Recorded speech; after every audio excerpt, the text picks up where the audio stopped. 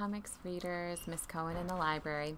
I'm here today to share with you um, a nonfiction book by Steve Sheinkin called Undefeated, uh, the story of Jim Thorpe and the Carlisle Native American football team. Um, Steve Sheinkin, who's written a lot of great nonfiction, uh, such as Bomb, which is the story of the creation of the atomic bomb, and Lincoln's Grave Robbers, which we also have in the library, um, has written this book about Jim Thorpe. So if you're an athlete at all, you're into sports, you might recognize the name. He was an a great all around athlete. He played professional football, he played uh, professional baseball, he was an Olympic gold medalist, like quite an athlete.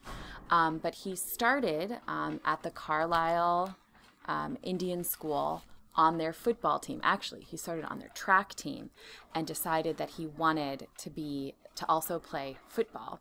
Um, the coach there, whose name is Pop Warner, another name that you might um, recognize if you are into sports, um, wasn't so sure that he should be a football player. I'm actually going to read aloud a little bit of the book to you because today is World Read Aloud Day. Um, so I'm going to read a portion of the introduction to you just to get a, for you to get a sense of the voice um, that Steve Sheinkin creates in this new book. So here we go. So this scene is actually when Jim Thorpe runs onto the football field, is greeted by Pop Warner, who says, What are you thinking? You really should not be doing this. Um, and this is a little test to see if he's really, truly ready to be on the football team. Okay. All right, Warner finally grunted. If this is what you want, go out there and give my varsity boys a little tackling practice. He tossed Thorpe a football, and believe me, that's all you'll be to them. Thorpe caught the ball and held it, running his fingers over the leather and laces of a store bought football for the first time in his life. He tucked the, the ball under his arm, walked to one of the chalk goal lines, turned, and studied the field. There in front of him was the famous Carlisle School football team, a diverse group of Native Americans from all over the country. There was the team he'd been hearing about, dreaming about since he was a kid. The players were spread out in the grass, maybe five feet between each man. There was no chance for a runner to get very far. That was the point. This was tackling. this was a tackling exercise. Warner shouted for Thorpe to begin. He started forward. The first few defenders got low and grabbed for his legs. Thorpe spun free and continued. Another group dove at him. He lifted his knees high and churned through the outstretched arms.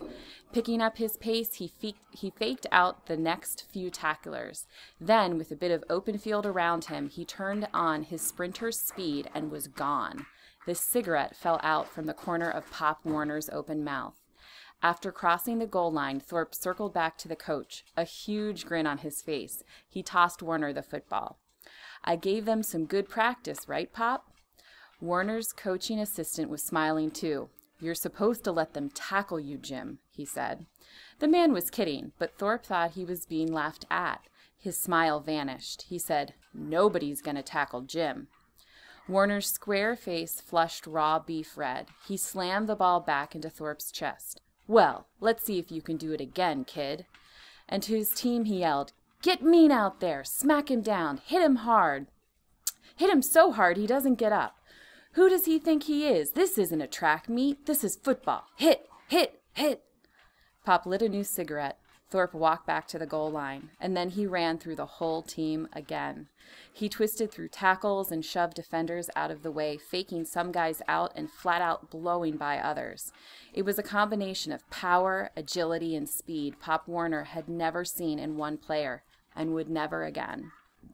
Thorpe jogged back to Warner, no grin this time. He tossed the football to the coach. Sorry, Pop, he said. Nobody's going to tackle Jim. So if you're a football fan, if you're a history fan, you might want to come out uh, to the library and check out uh, Undefeated, the story of Jim Thorpe and the Carlisle Indian School football team. Happy reading!